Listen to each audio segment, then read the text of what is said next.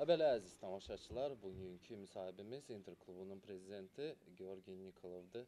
Э, Георгий Николаевич, э, добро пожаловать в Австрию. Вчера вы прибыли. Э, Хотелось бы в первую очередь, конечно, узнать о цели вашего визита. Понятно, что интересуетесь команду, не оставляете ее в такой ответственный момент.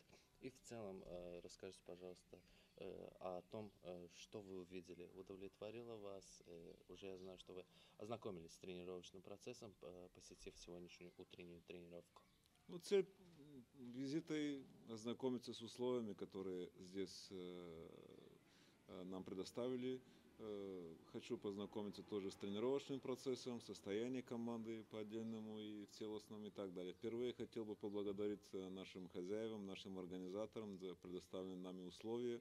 Здесь все на очень высоком уровне. А, Не секрет, что для команды уровня Интера должны быть условия уровня Интера. Так что чем лучше команда, тем лучше должны быть и условия.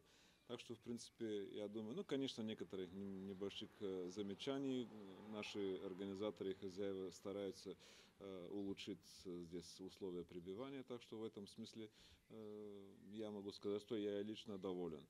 Во-вторых, то, что я увидел как во время сегодняшнего нашего сеанса, да, тренировочного сеанса, так настроение отличное. Думаю, что и цели, которые главный тренер поставил перед командой, они, э, скажем так, поставлены и они решаются.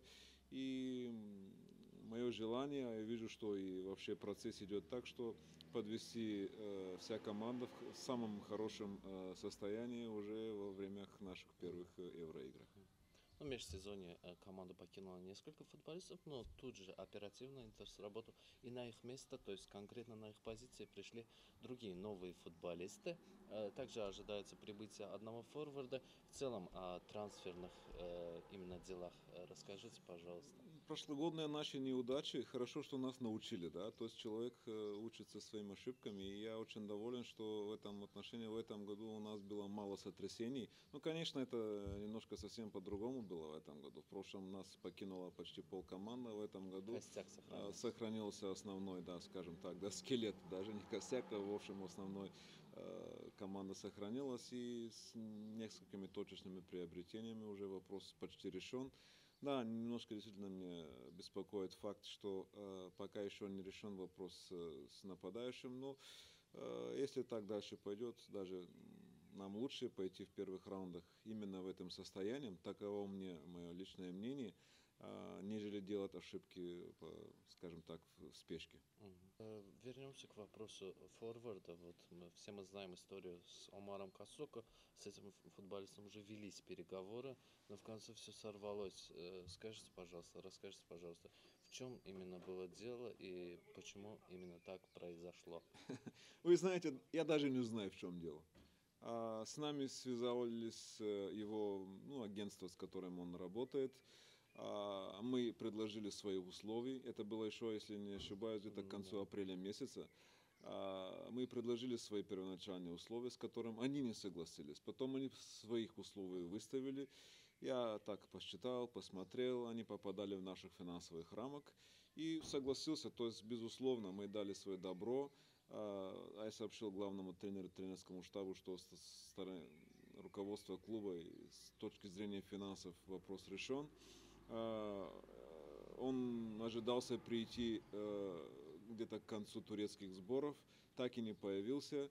Э, Потом, честно говоря, у меня уже терпение закончилось. Я посоветовал главного тренера, что если до э, этих э, австрийских сборов он не появится, лучше не рассчитывать больше на этого игрока, потому что видел, что что-то не там неправильно, что-то не точно. И вдруг э, увидел в болгарских э, э, сайтах сообщение, что он уже заключил контракт с болгарским Литексом. И практически на этого закончилась вся Одиссея, вся история. Для меня проблем нету, да, вот он выбрал свой путь. Скажем, если так и со своим новым клубом в дальнейшем будет поступать, тогда скатерть ему дорога, и я бы пожелал новым м, работодателям этого футболиста быть с ним осторожным. Ясно. Может быть, и лучше, что он не перешел. Нет худа без добра, еще раз говорю, дай Бог ему здоровья и э, дай Бог, что там раскрылся.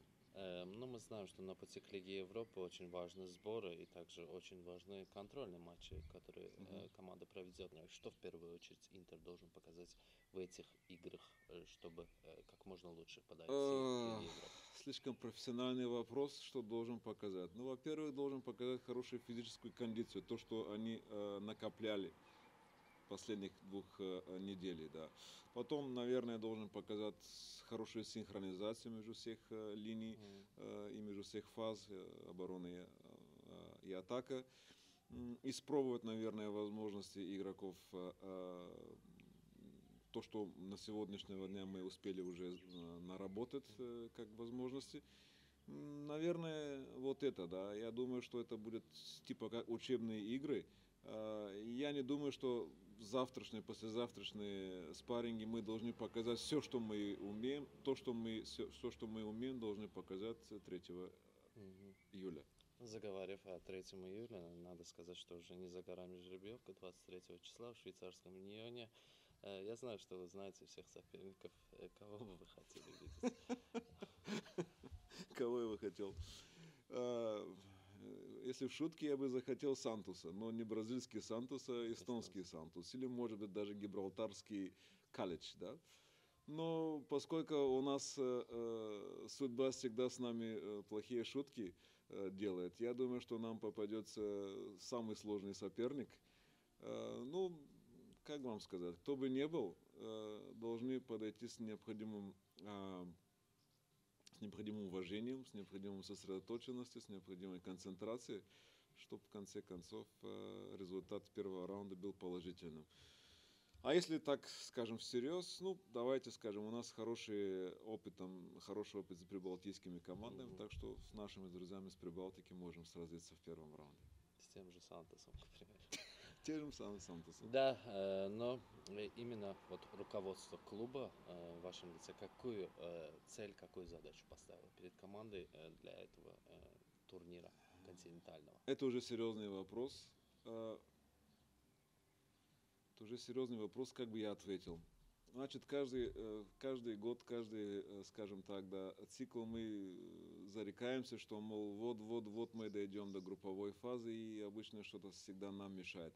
Я бы предпочел сказать так, да, мы будем играть для каждого матча, мы будем играть для каждого раунда, будем делать то, что надо, и пусть будет, что будет. Мгм. Ну, в этом году участие в Еврокубках будет для нас более ответственным еще из-за одного факта. Этот факт родной стадион Шафа, на Мгм. котором мы впервые, насколько я знаю, в истории э, современного Интера будем проводить матчи Лиги Европы. На ваш взгляд, этот фактор поможет нашей команде э, в предстоящих играх и вообще в целом э, родные стены, родная арена. Так у меня на родине говорят, дома стены помогают. Вы помните, наверное, что мы с вами вдвоем все э, рекомендации, требования АФ и УЕФА э, осмотрели. Э, мы с вами совместно э, решали все вопросы по, э, скажем так, обустройстве э, стадиона. Я надеюсь, что в новом сезоне уже это будет Интер-арена. Мгм. И я думаю, что мы, не думая, а уверен, что мы э, полностью отвечаем на всех требований Международной Европейской футбольной федерации. Э, нет причины, что там не проводились э, наши игры. Э, и это будет очень сильный фактор. Поскольку наши все э, ребята привыкнули, знают каждый миллиметр этого поля, вся инфраструктура им знакома. Я думаю, что на этом стадионе получатся хорошие футбольные игры. Хорошо, Георгий Николаевич, спасибо вам большое, что Вам тоже нам спасибо. время для интервью. Желаем вам успехов и команде успехов. Ну, я тоже считаю, что надо, во-первых, пожелать успеха, э, надо пожелать удачи, надо пожелать э, э, хорошей игры, надо пожелать то, что стали симпатичны всем olun. игрой. Сау.